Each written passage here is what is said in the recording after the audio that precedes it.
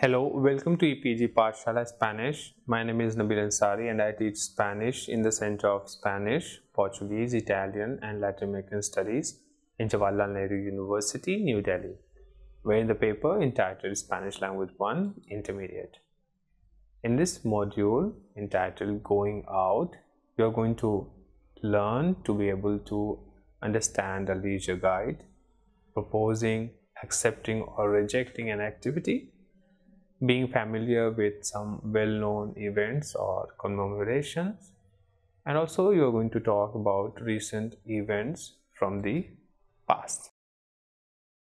Madrid, where our friend Rahul is staying, has a bustling nightlife as well as various things to do and see. Rahul, Nerea, and Rodrigo are planning to take advantage of the different activities that the city has to offer. They are looking at some information and discussing what should they do during the coming week in the city. La Guía de Ocio de Madrid, which means the Leisure Guide of Madrid, is a book that they are using to decide what they should do in their free time. La Guía lists, uh, lists all the major current and future leisure activities in the city. Now you are going to listen to the dialogue between Nerea, Rahul and Rodrigo. Mira, hay una exposición sobre la historia de cine de animación. ¿Os animáis? ¿Qué días es? Los sábados a los 5 a las 5 de la tarde y luego los domingos a partir de las 11 horas. Es que yo nunca he visto una exposición sobre este tema. ¿Por qué no nos vamos a verla? Vale, si te apetece tanto, iremos a verla el sábado y después podemos acudir a uno de estos conciertos que hay siempre. No, yo no quiero gastar mi dinero en cualquier concierto. ¿Quieres venir al concierto de Rolling Stones el 25 de julio? Cree que todavía no han perdido su car- carisma y me encantaría escucharlos en vivo. Vale, y os propongo otra cosa. Los domingos, en el barrio latino, hay un bar donde hay jazz en vivo. Pagas 20 euros y tienes derecho a barra libre. Puedes tomar cualquier cosa mientras ves la actuación. Merece la pena. Me apunto. Me parece fenomenal. ¿El qué? ¿El concierto de jazz o la barra libre? Los dos, claro. Bueno, es que también he visto otra cosa que me interesa. Este viernes van a es- estrenar la peli El Gran Hotel, Hotel Budapest. Me encanta el actor Adrien Brody. ¿Os apetece ir a verla? La verdad es que los viernes los cines son muy caros. La entrada es más barata los miércoles, así que será mejor verla entonces. Vale, venga, ya está decidido. El miércoles que viene la peli. In the audio, as you must have noticed, the friends are proposing an idea or plan to each other. Let's see some of the expressions that can be used to propose a plan or an idea to others. Proponer un plan, which means to propose a plan, we can use verbs like apetecer, for example, ¿Te apetece acompañarme a este concierto el sábado por la noche? Parecer, for example, ¿qué os parece si vamos a ver la peli hoy mismo? Animarse, for example, ¿os animáis a recorrer toda la ciudad a pie conmigo? Apuntarse, for example, vamos al parque de atracciones el apuntarse. For example, vamos al parque de atracciones el viernes. ¿Te apuntas? Tener plan.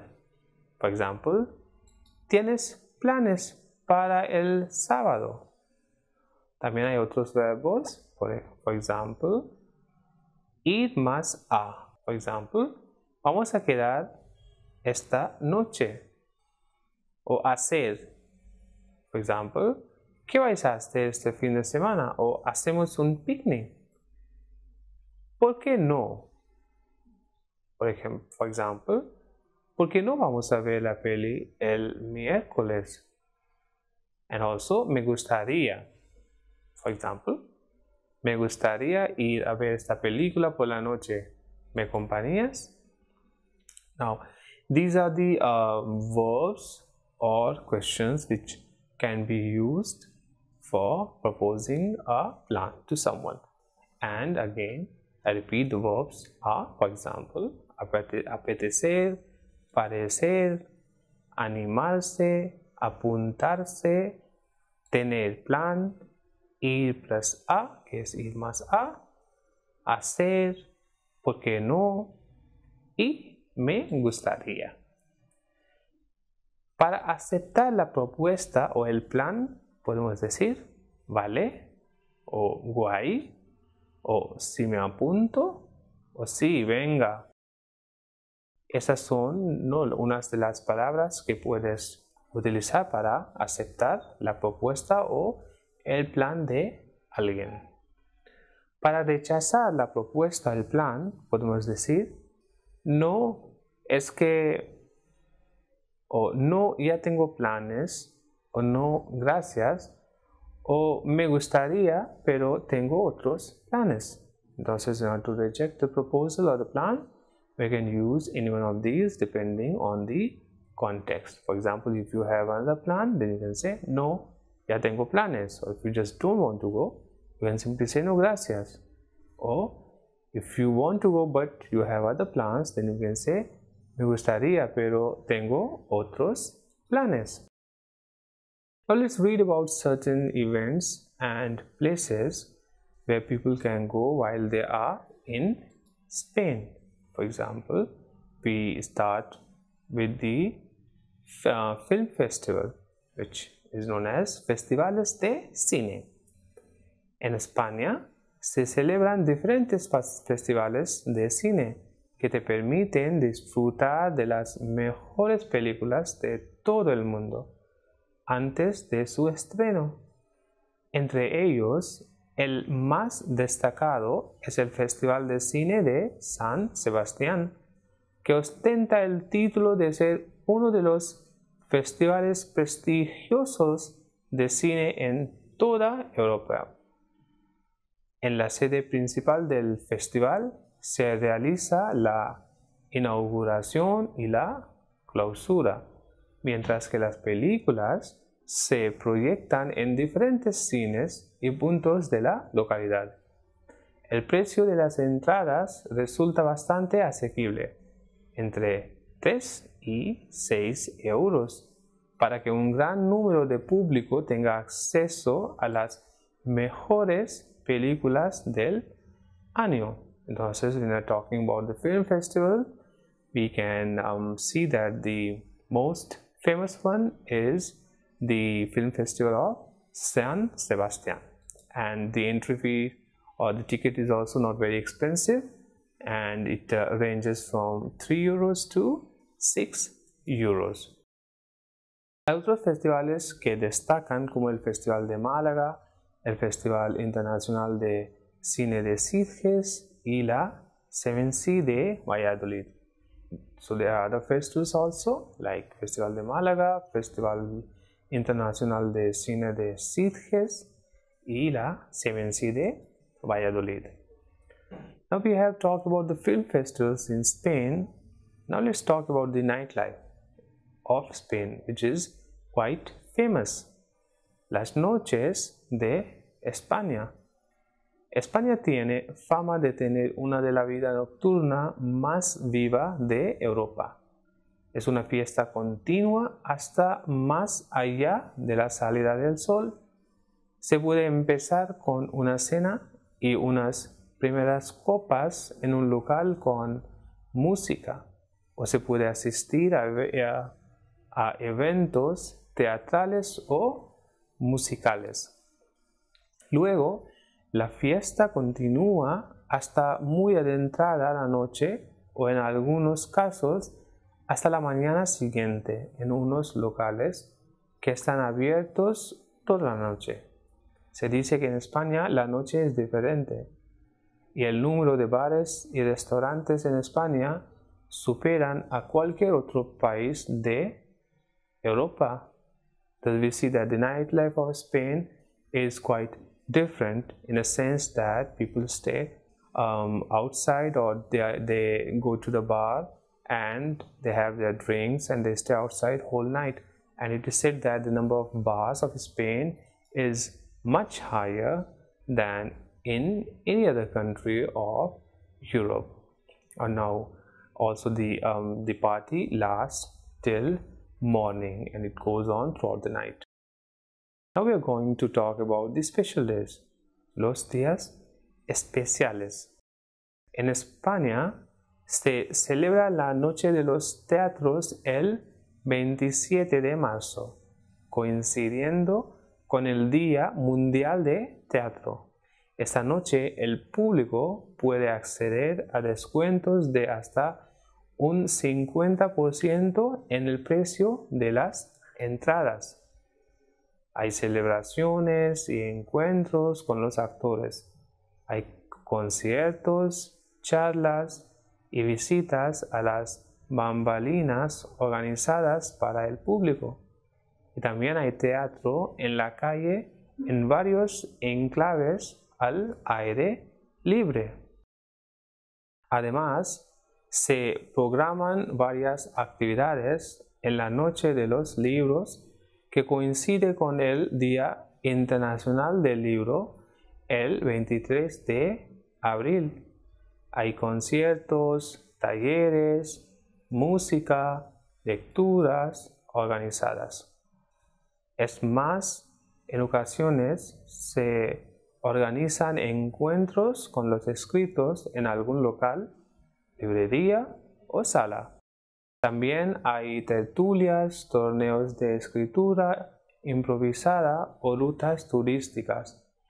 Y lo bueno de todo es que es gratis. So we have seen, we have talked about the international, the, um, el Día Internacional del Libro, which is celebrated on 23rd uh, of uh, April and in this there are uh, meetings or meetings or meetings are organized between writers and people it can be it uh, can be in any place or in a uh, bookstore or in a now we are going to talk about the museums and the cultural scenario of Spain Los museos y la escena cultural. España cuenta con uno de los más ricos panoramas culturales en Europa. Hay varios museos, centros de arte y edificios antiguos, restaurados y conservados para el público.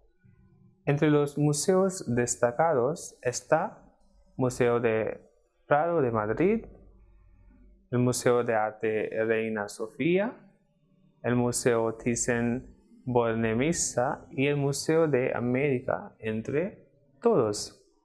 La entrada gratuita un día de la semana y también hay descuentos para estudiantes y jóvenes.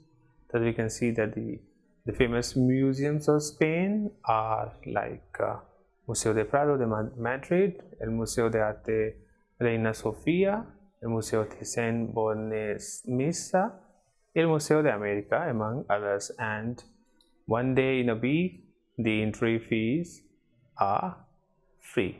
And, and there are discounts for students and for also young people. On, the, on one weekend in Madrid, Rahul, Nerea, and Rodrigo plan to pursue their activities of interest separately.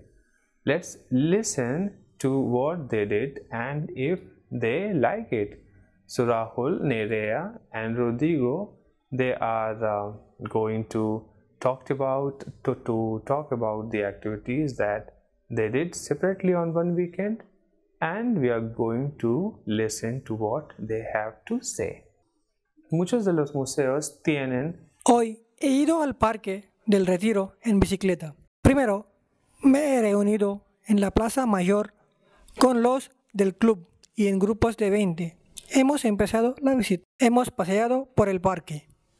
Un poco más tarde, hemos hecho una actividad deportiva mientras nos contaban la historia y los antecedentes de uno de los más bellos jardines de la ciudad. Para terminar, he aprovechado para remar en el lago del parque. Este domingo he estado en una visita guiada en uno de los barrios más castizos de Madrid, el de Lavapiés. Hemos conocido las tradiciones del barrio madrileño más popular y hemos presenciado la mezcla y convivencia de tantas etnias y culturas en pleno centro de la ciudad. Después hemos dado una vuelta por el rastro donde me he dedicado al, arte del regateo y he comprado muchas cosas para mi familia. También he visto las, los corrales, las casas con patio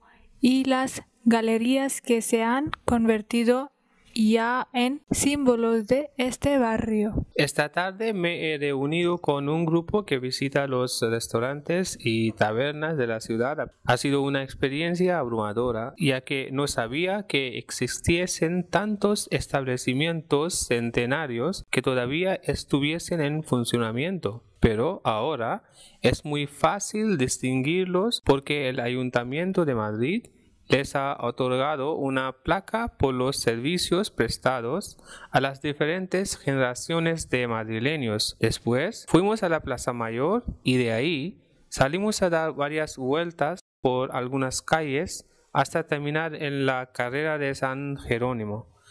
No he parado de degustar tapas en todos los establecimientos a los que he ido y me ha sorprendido la variedad gastronómica de la ciudad. The three friends have done the following activities. In the e-text, you need to tell who has done what basis the audio. Ha regateado mucho en un mercadillo. Ha probado distintos platos. Ha remado en el lago ha visto los corrales de un barrio de Madrid. Ha estado en una zona verde donde la gente hace actividades al aire libre. Ha dado vueltas para las calles de la ciudad para comer. Now you have to tell who has done these activities, whether it was Rodrigo or Rahul or Nerea. As you notice, all the three friends are using the present perfect tense to describe what they had done today or this week or tonight. For example, hoy he ido al parque del retiro en bicicleta. O esta noche me he reunido con un grupo que visita los restaurantes y tabernas de la ciudad a pie. If you need to review the use of uh, pretérito perfecto, you can also refer to the grammar section. But we are also going to explain you a little bit about pretérito perfecto here as well. It is used to talk about past experience in an undefined time in the past, whether we don't know exactly when or just because it's not important. We use the pretérito perfecto de indicativo. The pretérito perfecto means present perfect. Now, how are they formed or how do we form present perfect in Spanish? El pretérito perfecto is formed in the same way as in English with the verb haber. Haber is the auxiliary verb which means to have like to have in English and the participle of the verb.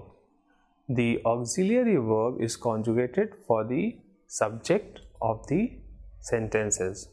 So haber here can or should be conjugated into a that is you a I have us you have él or ella o usted or anyone a means he, she or you have hemos nosotros hemos which means we have habéis Vosotros habéis o vosotras habéis means you all have and ellos, ellas, ustedes, han, which means they have. With these, the auxiliary verb haber, we also use the participle of any verb. And you remember uh, that uh, the participle is formed if the verb is a verb, we add ado. For example, pagar becomes pagado. And if it is er and ir verb, we add ido. For example, comer the participle of comer will be comido and the participle of vivir will be vivido. Now let's see more uh, some examples with the present perfect. For example, Pedro ha pagado las facturas, which means Pedro has paid the bills. Now as you see that the auxiliary verb haber is used which um, depends on the person or which depends on the subject of the sentence as the subject here is Pedro which is third person singular that's why a is used. And pagado is the past participle of the verb pagar which means paid. That's why Pedro has paid the bills. And the example ellas no han ido de vacaciones todavía. They haven't gone on holidays yet. So this an is because of the subject which is in plural ellas which means they and ido is the participle of the verb id which means gone. Now we're also going to talk a little bit about the uses of the pretérito perfecto which means the present perfect. The, the pretérito perfecto is frequently used for past actions that continue into the present or continue to affect in the present. So they are past action which continues to be uh, into the present, which continues into the present, present or which continue to affect in the present. For example, Mis amigos y yo hemos ido al cine esta semana a ver la última película de George Clooney. Which means my friend and I we have gone to the cinema this week to watch the last movie of George Clooney or the latest movie of George Clooney. Now here the present perfect is used in the form of hemos ido al cine because the time mentioned over here is esta semana which means this week. Another example is he perdido las llaves y no puedo entrar en casa. So this is a past action that the person has lost the that I have lost the keys but its effect continues in the present that is because of that, I cannot get into the house. So, he perdido las llaves y no puedo entrar en casa means I have lost my keys and I cannot get into the house. So, present perfect here is formed with the, with the auxiliary verb haber that is a for the subject I, yo a which means I have and the participle of the verb perder. Perder means to lose and perdido means lost. So, a perdido means I have lost. Now, the participle is formed by dropping the infinitive ending and adding either ado or ido. As I mentioned earlier, the participle is invariable, which means that it will not change. It's not like an adjective which changes according to number and gender. The participle remains same for both the gender that is masculine and feminine and for both whether the subject is singular like I have or whether the subject is plural for example like they have. We cannot put anything between the auxiliary verb and the participle. Remember this, it's very important that between the auxiliary verb that is haber or the forms of haber, haber for example a, as, a, hemos, habéis, an and the participle of the verb that can be any verb which um, hence uh, the, the, verbs any verb from AR verb from AR or ER or IR and uh, between these um, auxiliary verb and the participle no other thing can be put. Now to explain it more let's see some examples. For example yo ya he aprendido a contar en alemán which means I have already learned to count in Spanish. So in English, between the participle and the verb, we can put some, we can, we have here put already. For example, I have already learned. But in Spanish, we cannot put anything in between the haber form and the participle. So this already which in Spanish is ya will come before the Uh, auxiliary verb which is haber. That's why it is yo ya he aprendido a contar en alemán. And we cannot say yo he ya aprendido a contar en alemán. We cannot just copy the format that is being used in English. So this ya comes or anything should come before the haber or it can go after the um, sentence. Thus, uh, we have seen um, that uh, we cannot put anything in between the auxiliary verb and the participle. Now, just um, to repeat once again so that you remember the haber that the auxiliary verb used with the um, um, used in the present perfect in Spanish um, is haber and the conjugation of the verb haber is yo he tus, tú, has, él, ella, usted, ha, nosotros hemos, vosotros habéis, ellos, ellas, ustedes han. And the participle is formed.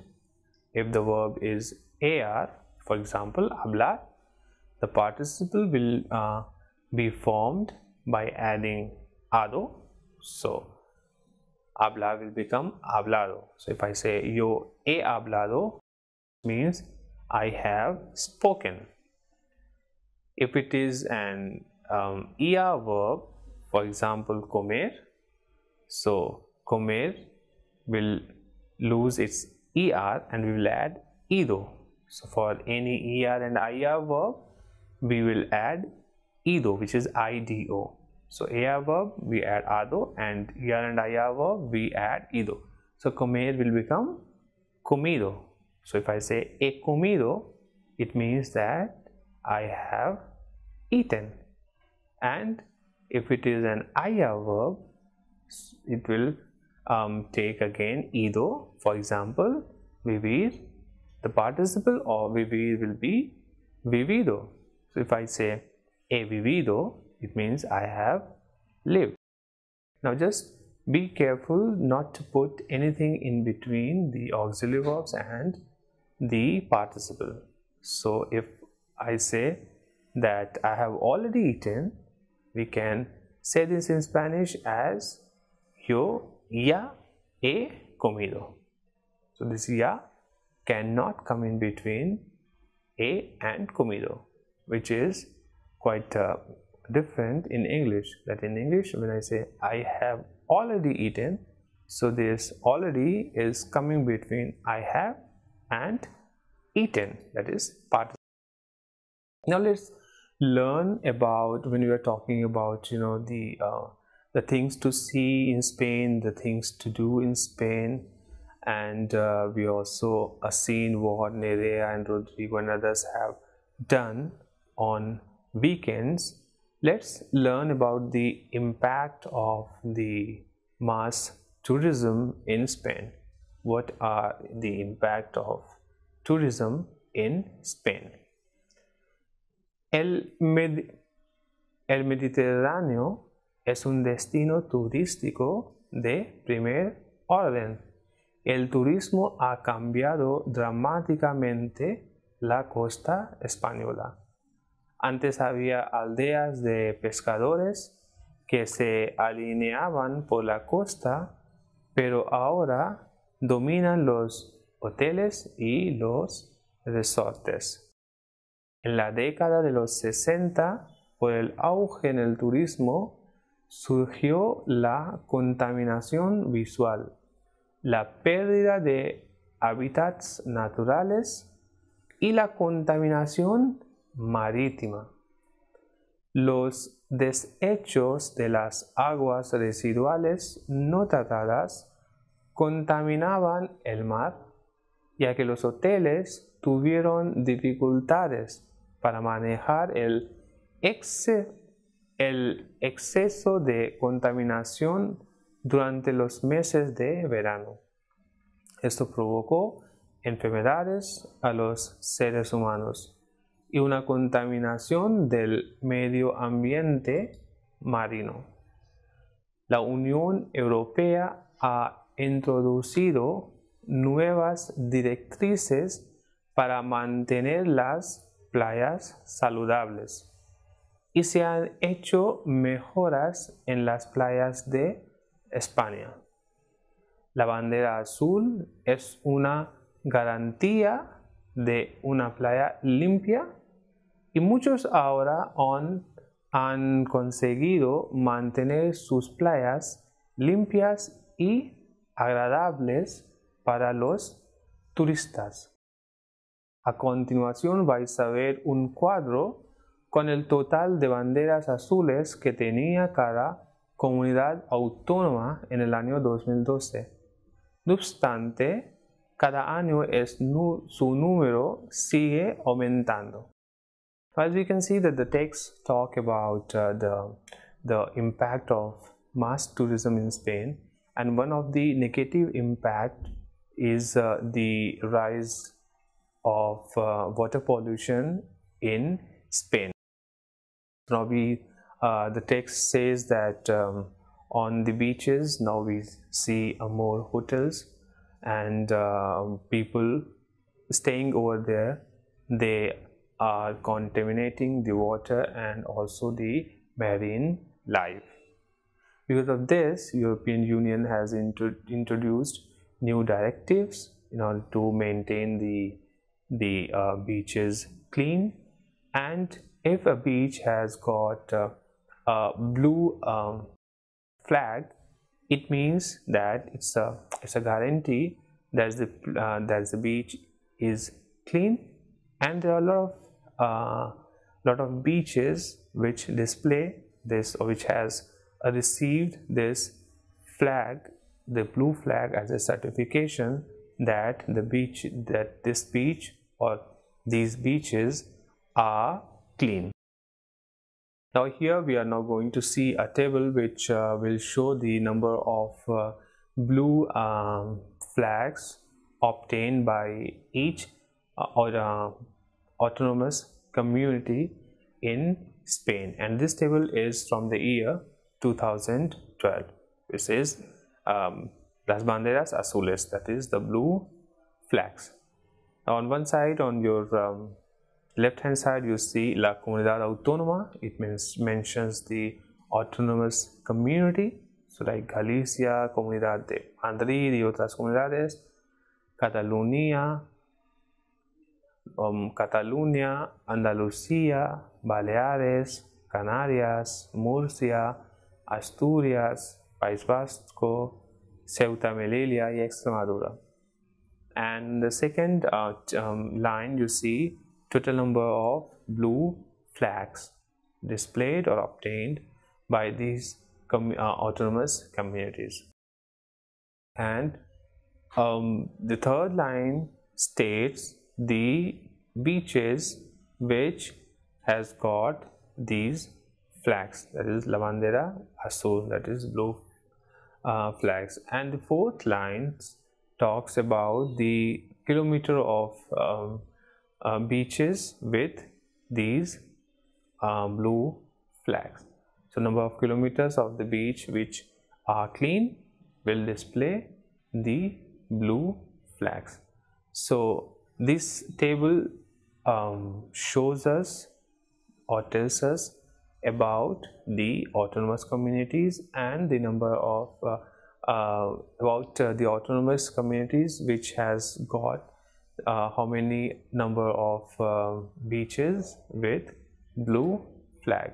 So in this module you have learned about entender una guía de ocio, conocer las diferentes actividades de ocio, expresiones para proponer, aceptar y rechazar un plan, eventos y festivales en España y el uso de pretérito perfecto para hablar de actividades que se ha hecho en el pasado reciente. Y también hemos visto un texto que habla del impacto del turismo en España. If you want to practice more or if you want to know more about these topics, you can refer to the e-text. Thank you.